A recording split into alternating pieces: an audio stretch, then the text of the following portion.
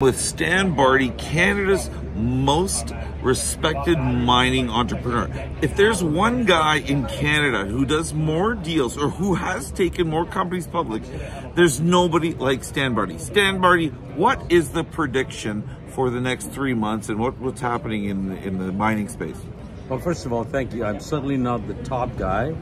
Many guys like me have been around. But, but nobody's done more you, deals. No, we've done a lot in the junior sector. Okay. But but let me tell you something. Gold is on fire. It's almost three thousand dollars an ounce. All the metals are doing well. Uranium. The next three months, get ready for this. Precious metals and uranium. They're booming. They're hitting all-time highs, guys. Any stock you touch, I would buy stocks in the mid-tier gold sector, not the top ones, the mid-tier you know, stocks like Alamos of the world, those kind of stocks are really going to do well. In uranium, obviously, there's so many very good junior companies. They've had a great run, great sector. And don't forget, when we talk gold, we also always think of precious metals, silver, platinum, palladium. They will all rise with the tides. And it'll be followed shortly by base metals.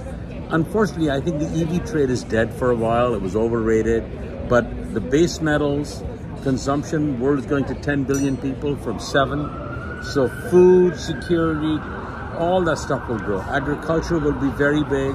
Uh, fertilizers will be very big. For the next three months, I'd focus on precious metals and nuclear energy. Stalin, I love to hear that. I, I, you just said the stocks to buy. You know, you've always got such funny things to say, and please, I'm not sure what he's going to say now. What is one of your favorite quotes of all time? My favorite quote of all time. Yeah. The one that you love. Which one? oh, no, you can't tell that one. give me give no. me one on finance or something. You know, there's a lot of uh, young people who are thinking about careers and their success. Give me something that's about uh, you know uh, entrepreneurship and.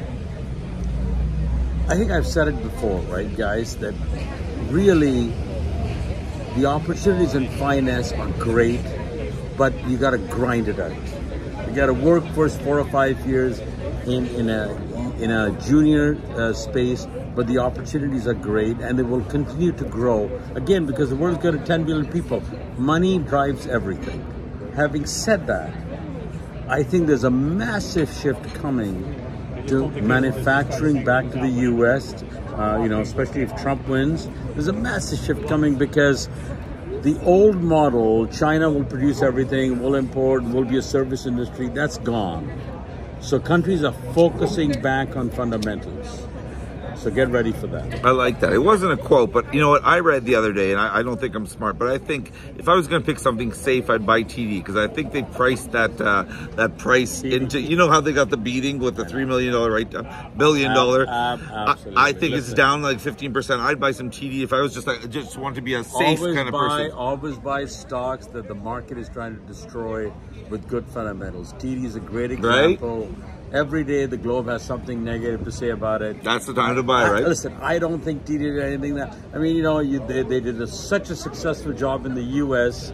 Uh, I don't know the details, but it's very difficult to tell what really happened. Yeah. But TD well, sounds like get, some middle managers. They're getting beaten yeah. for no reason. Yeah. Well, have so, a great day. Thank yeah. you for thank you for your lunch today, Stan. This was very impromptu. I'm not paying for the lunch. Uh oh, uh oh. Normally has a drink there.